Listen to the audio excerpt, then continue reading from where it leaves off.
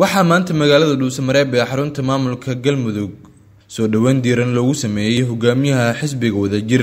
Cabdiraxmaan cabdishakuur warsame waxaana soo dhoweynta kadib hogaamiyaha xisbiga wadajir loo soo gudbiyey gudaha magaalada.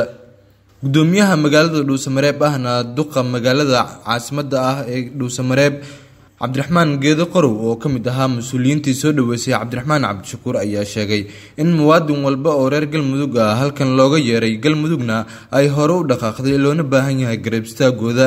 Gudoomiye soo dhawaada adiga iyo xisbiga aad hogaaminaysaan runtii aad iyo aadaan kugu faraxsannahay deegaanku waa deegaankiinii dalku waa dalkiinii.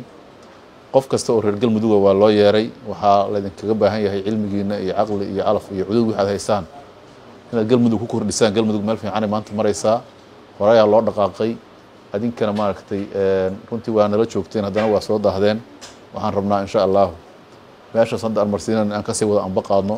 Soo dhawaada waa mahadsantihiin gudoomiyaha xisbiga wadajir mudane cabdiraxmaan cabdishakuur warsame ayaa isna sheegay in soo dhoweynta maanta loo sameeyey ay ahayd mid uu filayey shacabka caasimada galmudugna uu ugu mahad celinayo waxaa kale uuna sheegay in maalmaha soo aadan uu halkan sii joogi doono. Maamulka iyo iyo iyo iyo siyaasiyiinta kale ee deegaanka iyo madaxweynaha iyo shacabka galmudug intaba sidii sharafta iyo milgaha lahayd ay noo soo dhoweeyeen maanta waana ka filaynay. Magaalada dhuusamareebna waa kuu soo dhoweeyey. Waa soo dhoweyn aan filashadeeda qabnay runtii.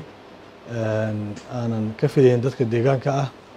Aad iyo aad ayaan uga mahad celinaynaa in aan soo xoojino booqashada halkan iyadoo meelahan meeshan shirar muhiim ah oo isdaba joog ah oo dhuusamareeb kow iyo labo iyo saddex ay ka dhaceen oo masiirka soomaaliyeed iyo ummadda soomaaliyeed ayaheeda dan u ah looga tashanayey inaan maanta soo gaarin aad iyo aad ayay farxad noogu tahay.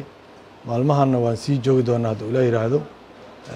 Arki doonaa madaxda iyo mas'uuliyiinta iyo qeybaha kala duwan ee bulshadaba.